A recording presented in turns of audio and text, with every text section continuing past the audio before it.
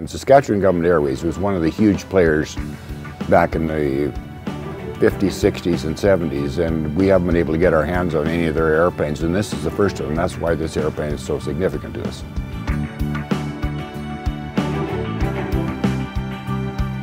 The help that we received from the communities, including Buffalo Narrows, Dillon, and particularly Michel Village was absolutely phenomenal. They saw us out there on the ice in action and these people come en masse and were a huge, huge part of the recovery. And as a matter of fact, it would have never happened without their help.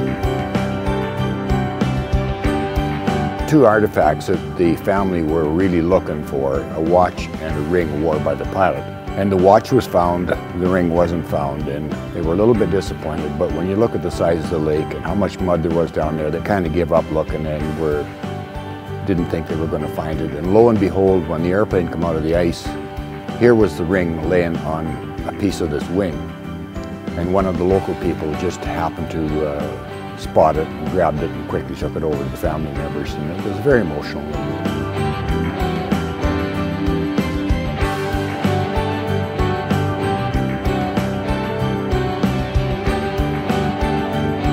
Need some financial support. We got uh, a GoFundMe page going and we're hoping that people will get on board and, help us with that because we we still have to pay for this recovery and uh, hopefully, uh, like I said, we'd like to rebuild the airplane down the road so it would be nice for us to be able to get some help in that regard.